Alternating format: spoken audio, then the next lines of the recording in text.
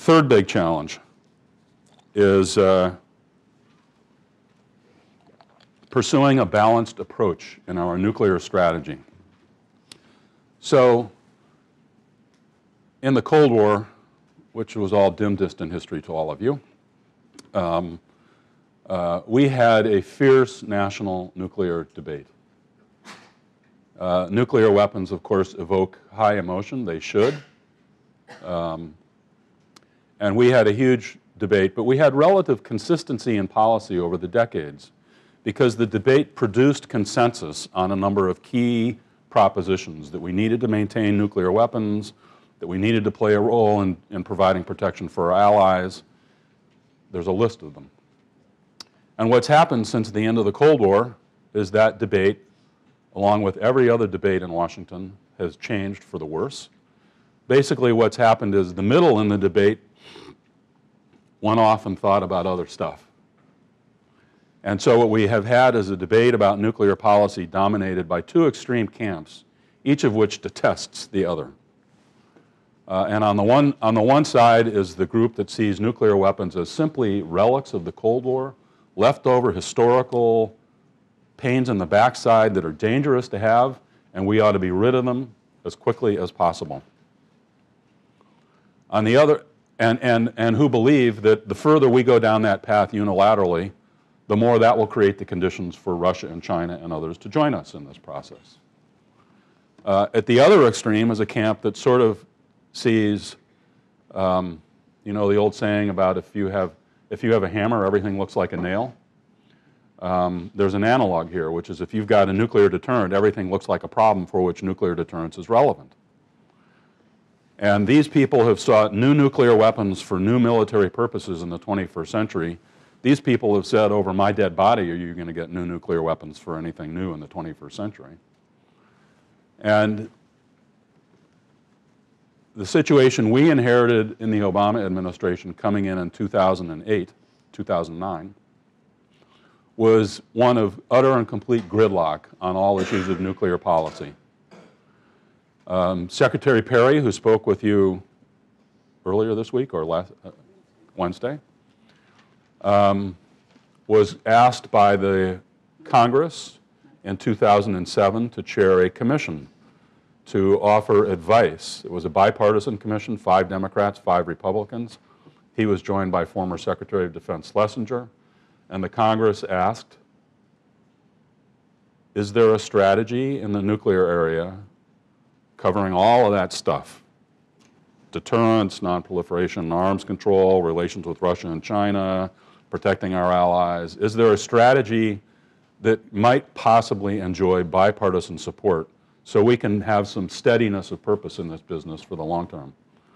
The legislation, the page of the law that actually created that commission was the same page that then said to the next incoming administration, you have to do a nuclear posture review. Uh, so basically the Congress said to Secretary Perry, help, help me get smart so I can be a smart consumer of whatever this new administration does on nuclear policy and strategy. Uh, the answer of that commission was almost no, that it was not, that there was no potential for agreement. It almost collapsed. Uh, it found agreement, and the Obama administration worked very hard to follow the recommendations of, of that commission despite the fact that it was staffed more by people on this side of the debate than by this side of the debate. You know that President Obama, very early in his administration, gave a speech in Prague in which he, he expressed the, the commitment of the United States, his personal commitment to create the conditions that would allow us ultimately to eliminate nuclear weapons, although he said this isn't likely to happen in my lifetime. Uh, and the, the administration has made a very big push on trying to take concrete steps to reduce the number and role of nuclear weapons, strengthen the disarmament regime, strengthen the nonproliferation regime, sustain the arms control process with Russia so that we make reductions together, but at the same time ensure that nuclear deterrence remains effective for the problems for which it's relevant in the 21st century. So you hopefully all read the, the, the, the piece of reading that I asked you to take on this week, the Nuclear Posture Review Report. It was an effort to embrace this balanced approach. Uh, this was the third nuclear posture review done since the end of the Cold War. And the, during the Cold War, we didn't need them. The nuclear posture was being constantly reviewed and updated because we were in a very competitive process with the Soviet Union. Uh, the, then the Cold War ended.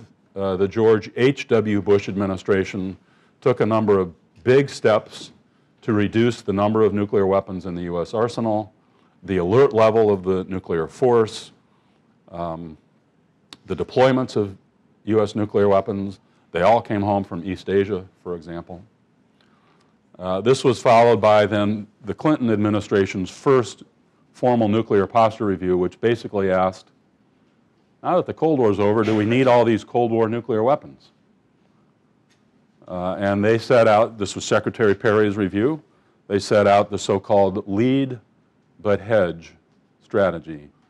Lead in making rapid nuclear reductions because we don't know these, we don't need these Cold War nuclear forces, but hedge against the possibility that things go badly in Moscow, they go badly quickly, and if they go badly and we end up with a non-democratic regime in Moscow, it's not going to be friendly. It's going to be angry. Hedge against that problem. Eight years later came the Bush administration.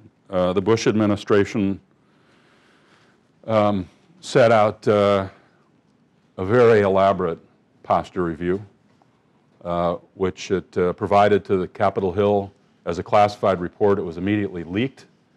Uh, therefore, it became illegal for any administration spokesman to discuss it in public because you were discussing a classified document in public, which you couldn't do. This little bit of bureaucratic politics was very confusing to the public debate about what the Bush administration had decided. Um, but they really gave a big plug for missile defense. They really gave a big plug for um, replacing elements of the nuclear posture with non-nuclear strike capabilities. In, in the real world today, if the President wants to fire something, a weapon into Afghanistan within 30 minutes, the only weapon he can fire is a nuclear weapon. That's not, that's not the best toolkit for the President to work with. So the Bush administration gave a push to that.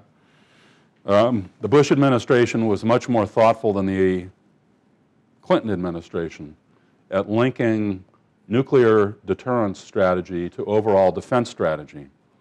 The, the, the, George W. Bush administration's defense strategy set out four main goals. Assuring our allies, dissuading potential competitors, like China, deterring potential aggressors, and defeating them if it comes to it. And this vocabulary about assurance and dissuasion was kind of, there were some Cold War aspects to that, but this was kind of new to the post-Cold War debate. Um, we picked up some elements of all of these ideas in our posture review. You've read, you've read the five goals. Um, we believe it's possible to do both nonproliferation and arms control and to maintain strong and effective deterrence. Uh, we found a way to reduce the role of nuclear weapons in our overall strategy and the declaratory policy changes you read. Um, you saw the focus on strengthening strategic stability as we reduce numbers with Russia. Um, I, I want to highlight is, so uh, the, the third big challenge is providing a politically viable balanced approach to maintaining our overall nuclear strategy. And I'd say so far so good. Um, but like everything else in Washington politics, this topic is caught up in the hyperpartisanship of the moment. Um, most of the Republican critics of this strategy argue that it's too soft uh, and um, they attack it on political terms, but they don't have alternatives. At the same time that they attack the strategy, they praise this overall balanced approach as the only, only possible pathway forward. Of note, the Bush administration never expressed a commitment to the ultimate fulfillment of the, all of the obligations of the Nuclear Nonproliferation Treaty. And Secretary Gates, who worked for both Bush and Obama, was asked uh, what he made of the Prague speech. And Gates said, It's been my pleasure to work for eight presidents, and seven of them were willing to say that it's a long term goal of the United States to eliminate nuclear weapons. He was untroubled by that. So, if we end up with uh, uh, Hillary Clinton in the White House or a different Democrat in the White House, uh, I think you'll see this balanced approach maintained, but with a little, with some heavy leaning on how much more can we do unilaterally to advance this agenda, because Russia is not going anywhere with us anytime soon, and China's building up, not down. And if we get a Republican in the White House, I'm afraid that the dialogue will be about new nuclear weapons for new military purposes in the 21st century, which will kill the willingness of the Congress to fund anything in this area.